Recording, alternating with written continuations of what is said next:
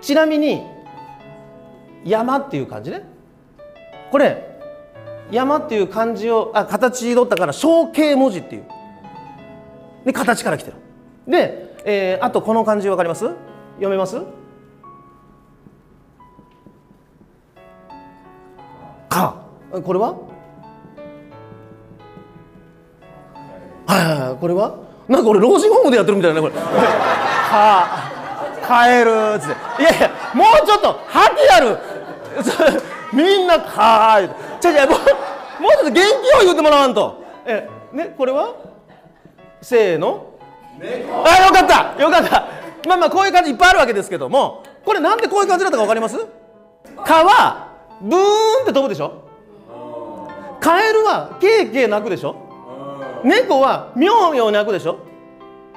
ミヤオミヤオってでこれね鳴き声から取った形成文字っていうものなんですね。いいねこのそういうのそういうの。そういうの。いやいや嬉しいですね。あのここがねいかに盛り上がってるかオンラインの皆さん盛り上がってますよ。いやそうなんですよ。これだからね形成文字の音。でこういうのいっぱいあります。音から取ったりとかあの作ったものとかね。この感じ僕すごく好きなの。えー、なんで好きかっていうとねこれよう見てくださいよこれね忠実に鼻毛が再現されてるんです。いろんなものを省略してるのにこの2本の鼻毛だけ。ここだけはこんな鮮明に残すんかいなっていうね。でなんですけどちょっとなんかねここはまあ鼻毛の象徴というかねこう形取ってるの分かるんですけどこれ何？そうこれなんでこれ字がつくと思います？そうあ今どこ指しました？そうなの。私はっていうとこ話さすでしょ？でこういうね行為行動仕草を表す動作を含めた漢字。なんかもあるんですよ。で漢字ってね面白いんですよ調べると。この漢字はどれに分類されるでしょうか。この幸せっていう漢字はどのルーツから来たと思います？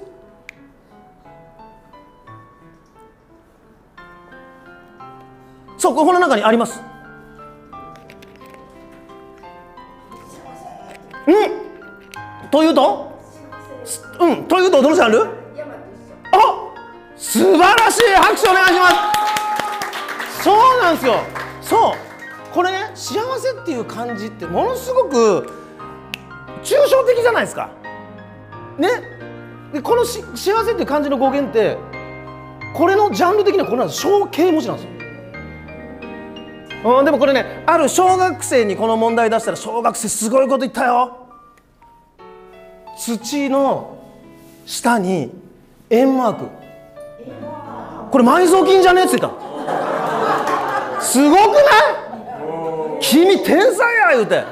土の下に円マークがあるって。これ埋蔵金じゃないですか？っつって。君の発想は天才や。これね象形文字なんですけどそのね「万歳」とか「やった」とか誰かとこうハグしとるとかとまたちょっと違って今から幸せのポーズここでやります。これが象形文字となって語源になったものです。まずですねポーズとしてはこうなんです。こうなんですね。で手は手かせっていう手錠をはめられてるんですね。で足は足かせって言って足にも手錠みたいなのかけられてるんですね。で身動きが取れない人の形が幸せって感じなんです。よ手錠をかけられて足にも手錠をかけられて身動きが取れない人の形がこの幸せの語源なんです。なんで？思いますでしょ？いや僕もそのルーツ調べてたはって。これのどこが幸せなのと。よっぽどこの中に一人ぐらいね幸せって。思う。ちょっといや分からないです。これはもう趣味の話もあると思いますから。あの変わった方は見えるかもしれないんですけど。これなんでかというと実はそこに問題があったんですよ。みんなねっていうか僕もですよ。はそんなのね何が幸せやねんと。手も縛られ足も縛られて身動きができん人が幸せなんてなんかおかしいぞと思ったんですけど実はこの漢字が訴えたいメッセージはそこではなくて手足を縛ることができてもこの人の心を縛ることは誰もできん。この人が幸せやと思ったらどんな状況からでも幸せを生み出すことはできるんやと。もっと言うとじゃあ手がない人足が不自由な人じゃあ不幸かいって話なんですよ。